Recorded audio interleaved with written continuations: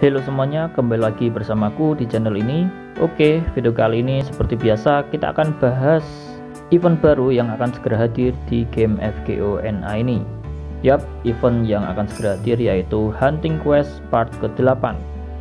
Yang di mana Hunting Quest Part ke-8 ini akan mengisi minggu-minggu terakhir sebelum kita menuju ke FGO NA Anniversary kelima. Untuk detail eventnya sendiri kalian pasti sudah pada paham. Hunting Quest merupakan event yang menghadirkan beberapa quest yang di mana quest tersebut dapat memberikan drop berupa material-material untuk upgrade servan kalian. Jadi selain material itu ada juga drop XP card. Lumayan lah ya. Kalian bisa farming material sekaligus XP card di quest ini untuk materialnya sendiri itu tergantung dengan tipe monster yang kalian selesaikan.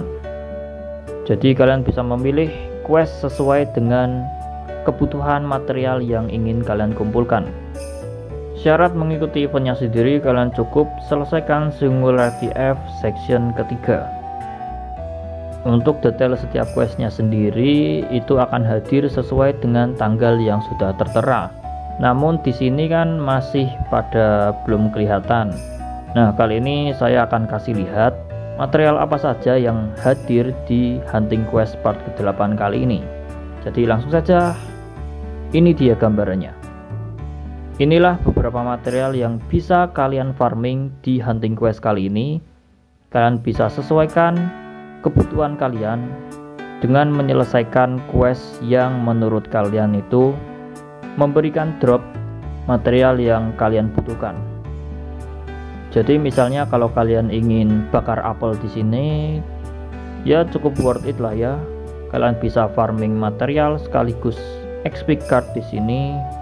Setelah kalian dapat amunisi QP dari event Las Vegas kemarin.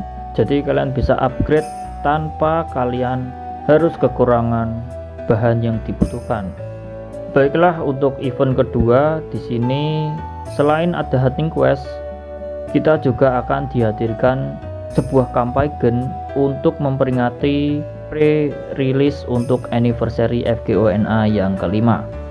Untuk jadwalnya sendiri itu rilisnya barengan sama hunting quest tadi. Untuk hadiahnya sendiri di sini kita hanya mendapatkan beberapa CE hanya dengan login saja. Di sini ada 4 CE, tentunya kalian harus login sebanyak 4 kali sesuai dengan waktu yang sudah ditentukan. Ya, lumayan lah ya mendapatkan 4 CE, kalian bisa gunakan untuk CE bom atau kalian bisa bakar jadi mana prism. Selain dua event tadi, akan ada juga banner yang akan mengisi pre-release anniversary FGONA yang kelima. Di mana banner ini bisa dibilang banner bed sih Isinya yaitu servan yang berkaitan dengan Lost Bell 1 sampai dengan Lost Bell kelima. Di sini yang terlihat hanya ada satu limited yaitu si Ivan. Yang lainnya kalian bisa gacha di normal banner. Buat kalian yang kelasnya itu sudah komplit, kalian bisa easy skip untuk banner kali ini. Oke, mungkin cukup itu untuk pembahasan dari event-event yang akan segera hadir di game FGO NA ini. Jadi kita akan sudah semakin dekat dengan anniversary FGO NA yang kelima.